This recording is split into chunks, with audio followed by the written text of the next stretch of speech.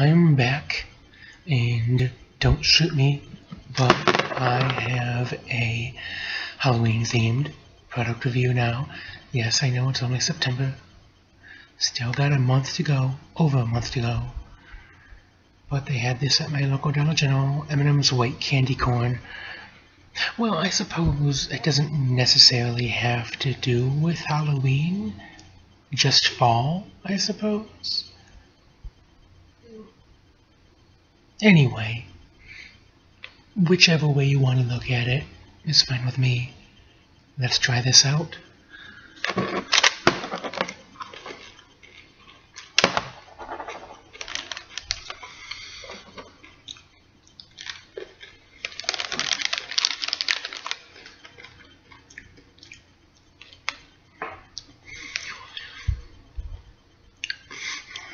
I can taste the white. I can taste the white, um, the white chocolate.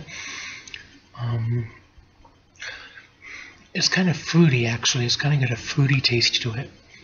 I can taste. I can. I can. Um, I can taste kind of a fruity taste. I don't know where that's coming from. Maybe the artificial flavors.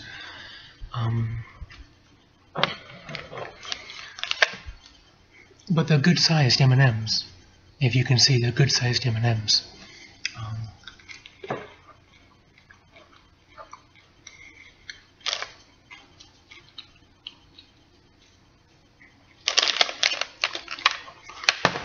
But yeah, they're rather fruity. Um, these are gonna get a 7 out of 10. They didn't blow my socks off, but they were okay for a little bit of a snack. This was 85 cents, Dollar General. Um, and this was M&M's White Candy Corn. Uh, I hope you enjoyed this review. Have a very nice evening.